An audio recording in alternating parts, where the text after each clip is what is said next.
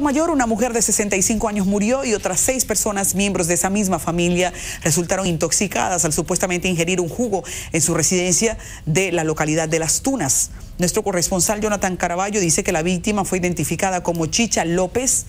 mientras que los demás intoxicados son sus hijos y esposo, a quienes les atendieron en el hospital Leopoldo Martínez de Atomayor y fueron trasladados al hospital Antonio Musa de San Pedro de Macorís.